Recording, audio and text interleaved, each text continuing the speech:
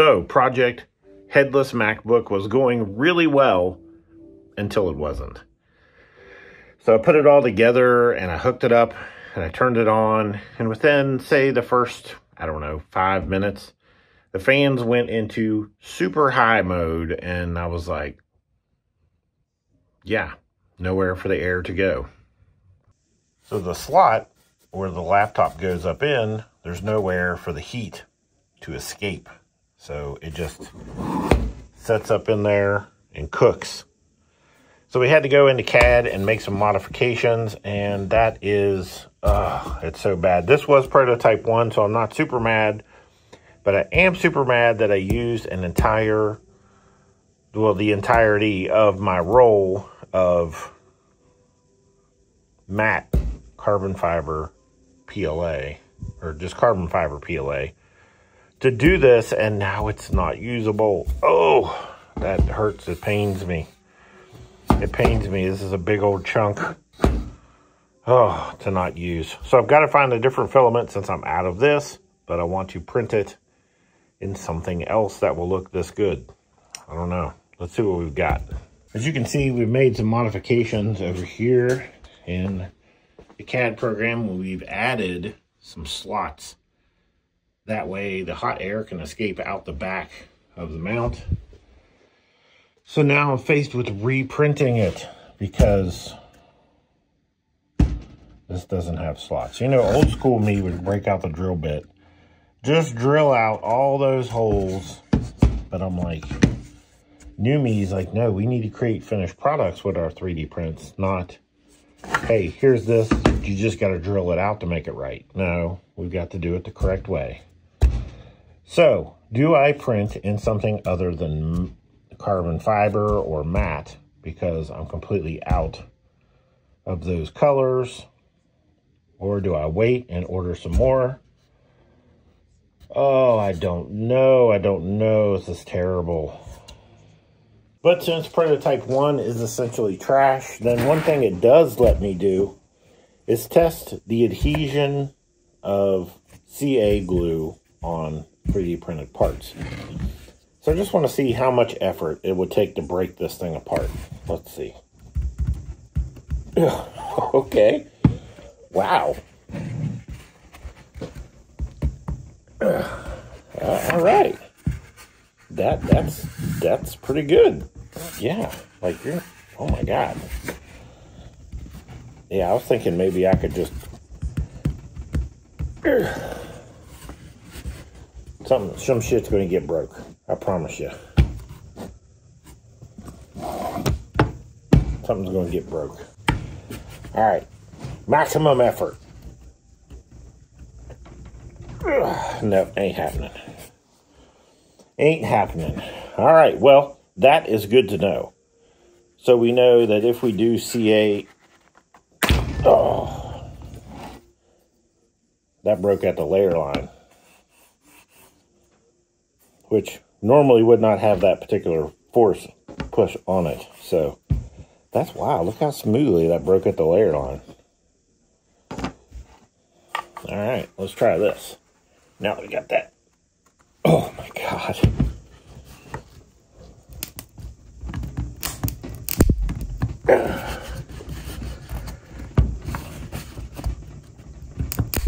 Oh, wow. Okay, so that took substantial effort. And it actually ripped off some of the, yeah. So no, I would say for this purpose, you know, for this 3D printed, um, like headless MacBook uh, riser, that gluing it together is more than acceptable. Like it took a substantial amount. I broke my wrist years ago and it still hurts to this day. But that actually uh, put the tweak on the old man wrist. Wrist. So, uh, no. I'm pretty happy with that. Now I just have to print it again with some heat vents.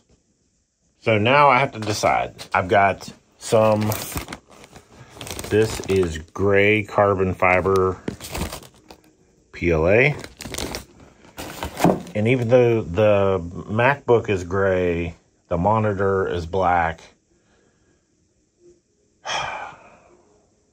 the buttons are all black. That's why I did it in black carbon fiber before because I thought it looked good.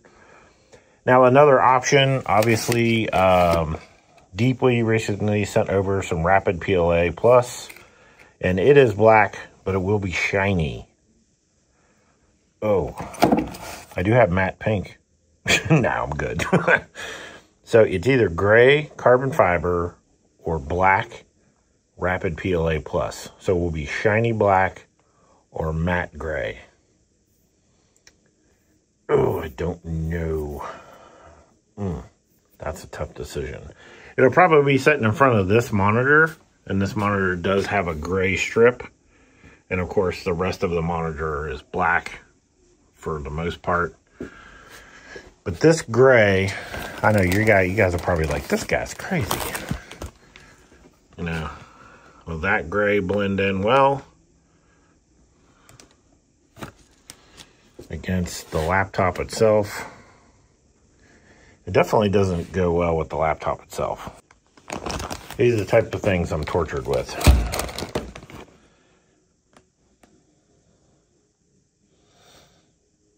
So you can see that with silver, black buttons, and that would be a gray that doesn't match any of that. Or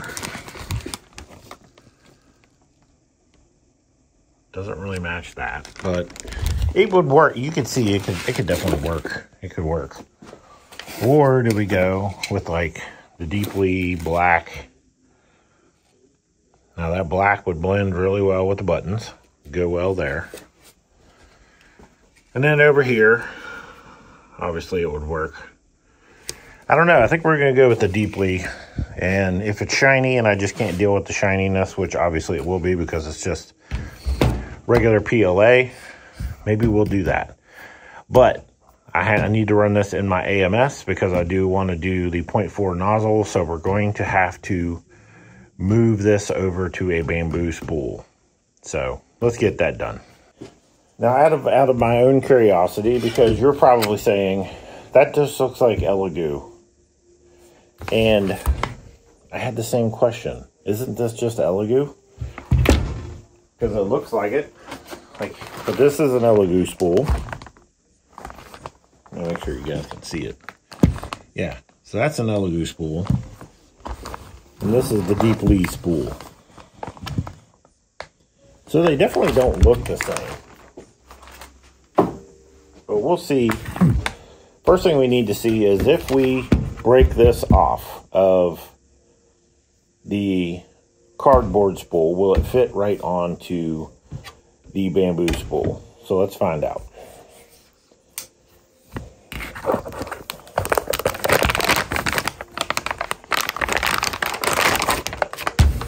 And just to let you guys know ahead of time, this filament was sent to me, but no obligation to do a review and no obligation to, you know, give you my opinion on how it prints. So that's exactly how we are going to address it. All right. So let's see if we can peel off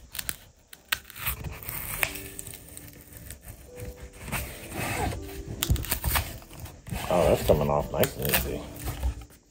Boom. Easy peasy. Let's get our uh, Bambu spool ready. Hopefully it fits. Pull off the inside ring here. Try to remove some of this cardboard if I can. If at all possible. The spool did not spring up on me, which is good. It's all wound very tight. Let's see if that drops. Oh, that's so beautiful. Is there a notch somewhere here? Is that a notch? Let's see if I can get the Bambu notch to drop in that notch.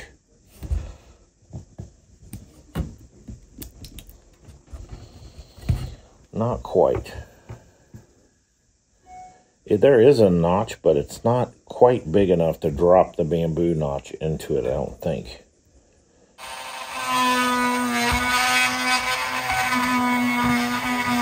Now, normally I would not recommend you break out a Dremel and make a notch that accommodates for another spool, but I'm kind of in a situation here now where it doesn't have a spool, so I really didn't have a choice. Let's see, with a little Dremel finesse, we got it locked on. All right. So if you have an A1, no big deal. Just slap it up in the A1. And even if you have the AMS for the A1 or the A1 Mini, you won't have a problem. This is strictly a uh, X series or P series printer AMS problem. Uh, found a solution, obviously, but was it ideal? No. Could I have just forced it into that slot? I don't think so. That slot was very narrow. It was just wide enough to fit the filament in, you know, to kind of hold the filament in place. So I don't think even forcing it together would have been a possibility. It probably would have left the, you know, spool wonky on the one side. Where drilling it out obviously made it nice and solid. But now it's ready to load up into our AMS and we can get our project reprinting in this DEEPLEE rapid PLA Plus. The spool itself doesn't include any information other than printing temperature 200 to 230 C. That's it. So no bed temp information, nothing like that. So we're going to go, I'm just going to load it as uh, Bambu uh, PLA Basic. And I'm going to try it at those temps, which is 220. And uh, we'll see how it goes. Well, apparently my brain's in PETG mode because I thought this was going to be super shiny. And it's actually not bad. It's not matte, but it's definitely not bad. So we've got to wait for that job to finish. And then we'll see if our MacBook's going to fit in there the way it did before maybe this is a solution. So we'll have those vents now, and they're at an angle, about 10% grade or 10 degree grade. So as the heat comes out of the back of the MacBook, it'll travel up and out of the back of the mount. So far, so good. I think uh, that's going to work out pretty good. So now I just have to wait. I guess while I'm waiting, little Technicals Tinkers right there. Go check him out if you haven't subscribed to him yet. And uh, yeah, I've got some orders to fill, so I'm going to go ahead and get those taken care of too while I'm at it. So I'll check back in with you in a little bit. All right, so the glue up on the laptop uh, stand is all done. And I've got to say, I'm very happy. Look at that. Look at that. Like a nice satin look to it. That is amazing. I'm so happy I chose to go with that DEEPLEE black over that gray.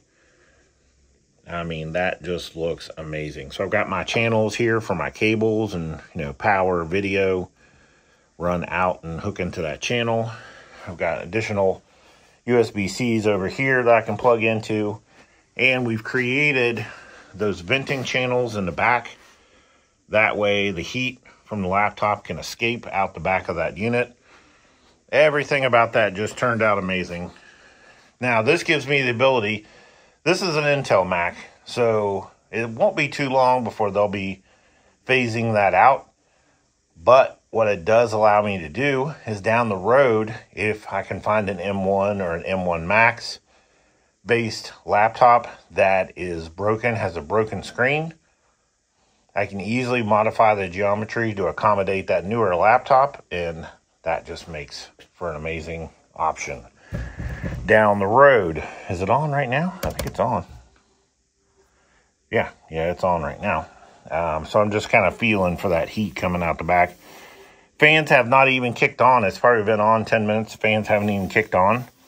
So that in itself tells me that, you know, the airflow is there. Pretty excited about that. Can't wait to find a way to implement it because it actually looks pretty good. Overnight, we printed an order. Uh, this is for this is actually one of those items that we've been talking to that company about, and I'm filling an order for that, and that part looks great.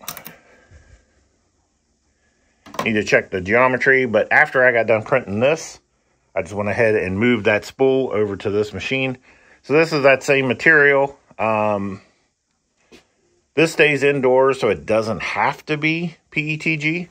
So I just went ahead that way I could fill this order and I didn't have to wait for that Sunlu to come in.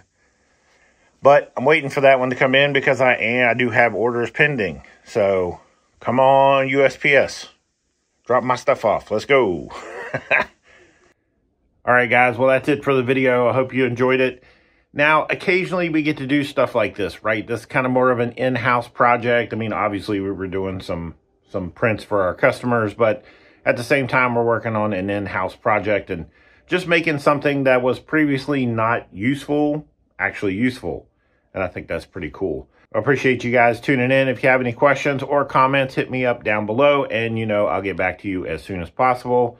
And if you haven't subscribed yet, hit that subscribe button and click the bell. That way you get notification when I post my next video. All right, guys. Later.